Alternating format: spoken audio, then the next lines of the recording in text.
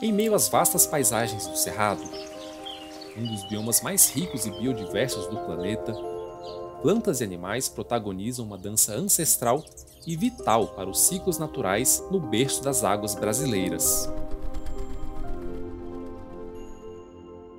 Porém, toda essa riqueza está em perigo. O cerrado está perdendo as suas cores. Sem flores, não há polinizadores, não há sementes, não há vegetação, não há água, não há vida. No meu livro Cerrado em Cores Flores Atrativas para Beija-Flores, através de um olhar científico e artístico, convido você a descobrir essa bela e delicada história natural. Cada página é um lembrete de que a conservação dessas espécies depende de nós.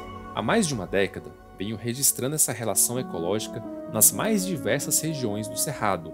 Nesta obra, você encontrará centenas de flores nativas, produtoras de néctar e todas as espécies de beija-flores que habitam o coração do Brasil. Prepare-se para se encantar e, mais do que tudo, para se conectar com a essência desse bioma único que precisa ser valorizado e urgentemente conservado.